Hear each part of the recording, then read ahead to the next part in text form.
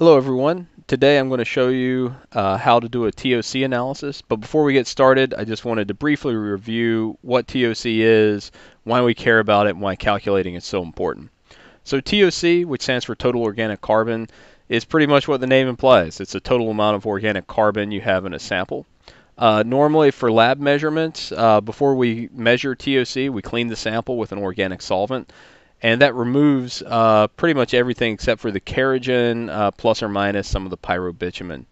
Um, kerogen, which is what we're interested in, is basically all the dead critters, bugs, and plant life that got preserved in the sedimentary record. And when we heat those up through burial, that's when the kerogen undergoes thermal maturity and converts into oil and gas, which is what we get paid to find. Um, so why do we care about TOC? Well, if a shell doesn't have any TOC, then it's not a source rock, and we're not going to look to drill that zone. If uh, shell has a really high TOC value, we may suspect that it's uh, immature and we've not converted a lot of that kerogen to uh, oil or gas yet, uh, so we might not want to drill in that particular location. And uh, because TOC is really low density, if you don't correct your porosities for it, you might overestimate your storage properties uh, during your petrophysical analysis. So those are just a few of the reasons why we care about TOC. So today we're going to look at uh, a number of different ways to measure TOC. We're going to do calculations for Schmoker's method. Uh, we're going to use some of the other density-based estimates. Uh, we're going to use Vernik's method. And we're going to look at the Passey sonic neutron and density methods, uh, which you often hear referred to as the delta log R methods. So uh, with that said, let's get started. Uh, today I'm going to be using uh, Danomics Petrophysical Insights platform for my analysis, uh, but you can use whatever software you like. The principles are, are all the same. So taking a look at the window, I just want to walk you through what's on the screen so you'll know what I'm doing when I'm entering parameters and moving things around. So up here in the top left area, we have our CPI parameters. This is where I'll be entering in some of the values and where we'll see uh, zone by zone changes occurring. Uh, below this I have a cross plot uh, and I'll, I'll, get into more detail on this later. And all, over here to the right I have our well log panel. So just moving ref, left to right so you know what curves we have. Here I have my gamma ray track shown on the left and we're going to use this to define where we want to calculate our TOC. We have our resistivity track, uh, and this is crucial to the Passey methods. This is where we'll set our uh, inorganic shell resistivity. And then we have our three Passey tracks, uh, which are our sonic, our density, and our neutron overlay tracks. Uh, the reason these have their own designated track is the Passey method is actually a, a visual overlay method.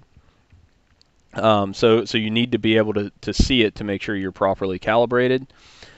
Uh, and that's in contrast to like the Schmoker methods or some of the other empirical uh, density methods that are just a straight correlation. Um, the Vernik uh, method, there's there's no overlay with that, even though there are some parameters that we enter. So I've just shown those results by themselves here in this track. We have all the, the density methods. Our three Passey methods, the outputs are shown here in the uh, in this track, and then our final TOC curve is given in this track.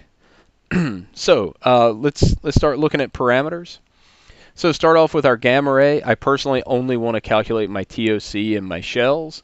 And so what I'm going to do is I'm just going to come over here to my parameters and say, all right, I don't want to calculate uh, TOC in any unit that has a shell value of less than 70 on the gamma ray.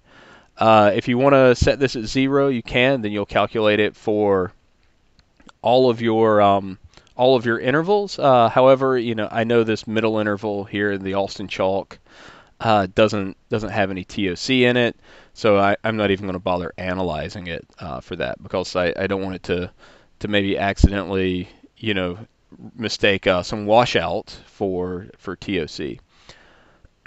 uh, for my resistivity, as I said, this is crucial to the Passey methods. And uh, we, we can set this by either interactively dragging and dropping the parameter, uh, or we can enter in a value.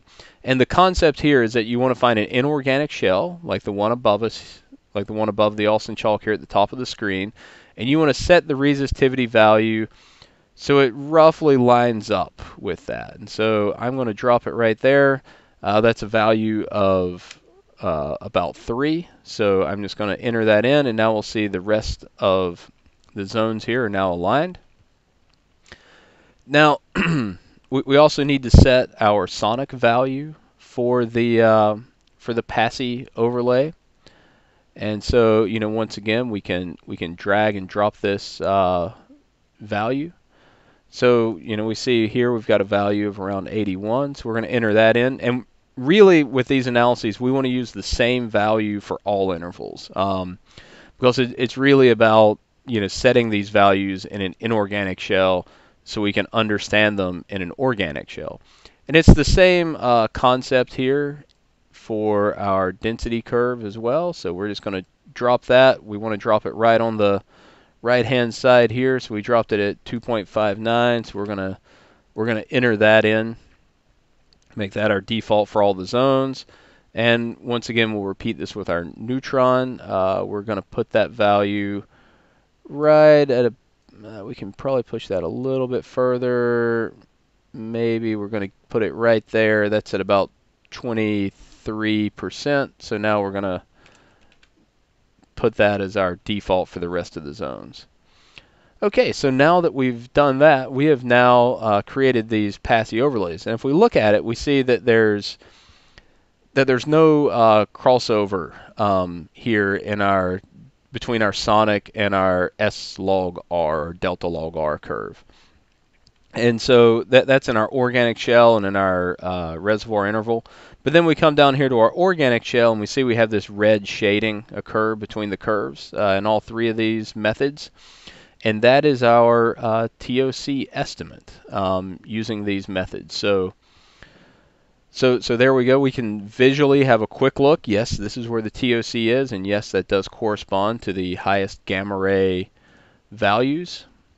Um, you know, we, we still have the Vernik method here, um, and we can either take the value straight from our Roby baseline that we used from uh, that we used in the Passey method, or we can take what we calculated during our VClay analysis, which is about 2.58.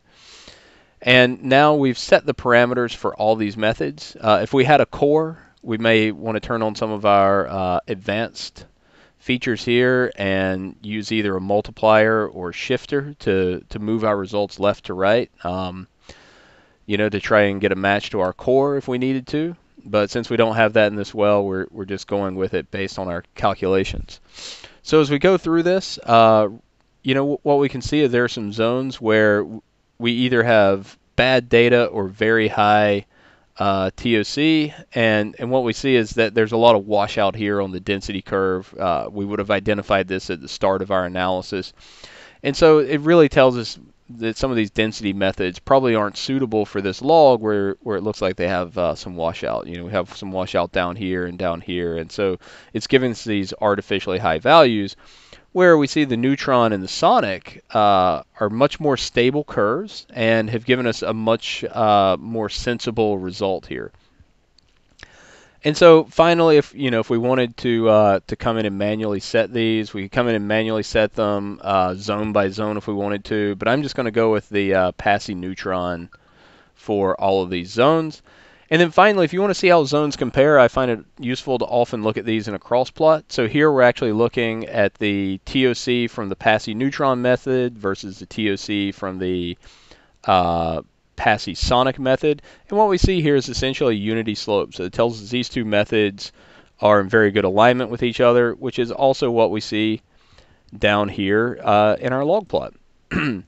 so uh, with that said, that is how we do a TOC analysis. I uh, hope this was useful to you. And if you'd like to uh, try doing a TOC analysis yourself using the Danomics platform, uh, just reach out to me and I can get you started today. Uh, you can either send me a message via LinkedIn or you can send me an email at csnow at danomics.com. Thank you and happy interpreting.